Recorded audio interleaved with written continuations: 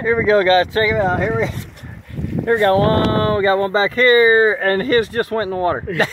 so there you go. Trips and quads, guys. It's a huge service in school. If you want to get in on these, give me a call 316-295-6372 or message me at Roger Bear on Facebook. See ya.